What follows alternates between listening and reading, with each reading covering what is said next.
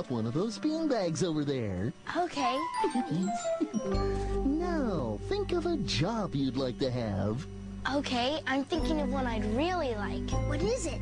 Well, on this job, you get to wear fun shoes. What else? You wear the prettiest costumes and sometimes a hat. That And best of all, you get to move around to music. Oh, I think I know what it might be. now, why don't you toss your beanbag onto a square and hop up there?